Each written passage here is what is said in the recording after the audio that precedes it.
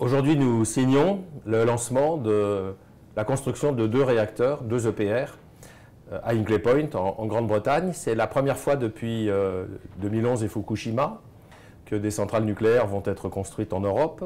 C'est une preuve de confiance dans la technologie française.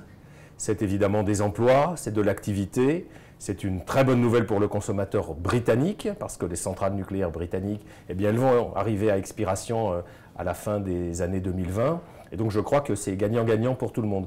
Et pour EDF, bien sûr, et pour toutes les équipes d'EDF qui travaillent sur ce projet depuis près de 10 ans, eh bien c'est la preuve d'un très grand climat de confiance avec notre client britannique et avec notre partenaire chinois. Donc c'est une très grande nouvelle pour nous tous.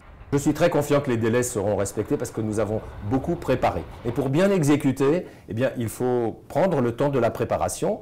Et là, c'est vrai que nous aurions aimé lancer le chantier un petit peu plus tôt. Mais en effet, en, fait ça peut nous, rassurer et, nous permettre de mieux réussir parce qu'on aura eu un plus grand temps de préparation. Je crois que la bonne exécution, c'est quand même aussi quand on a eu le temps de bien préparer. Et là, c'est le cas.